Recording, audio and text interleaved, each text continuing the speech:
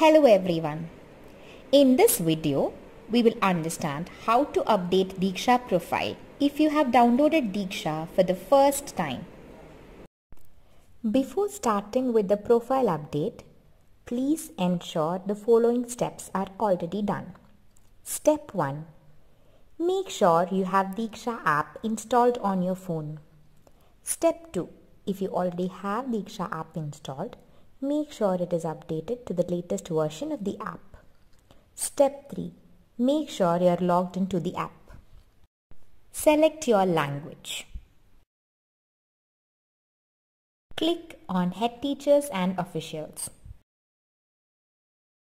Go to Login page and enter your mobile number and password. Log in to the app. Select board from drop down and click on save. Add all the details and click on submit. If you forgot to add any of the details in profile, click on profile icon.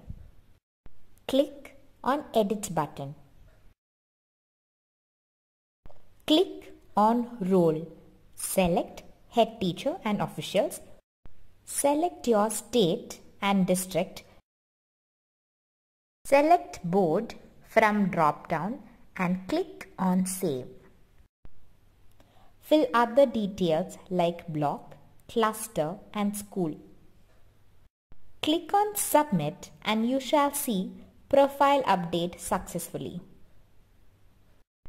Thank you.